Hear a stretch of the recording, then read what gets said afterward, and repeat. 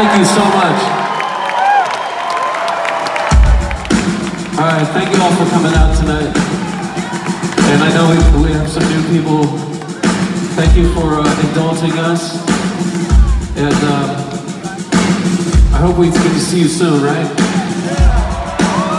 Let's kick out the jams.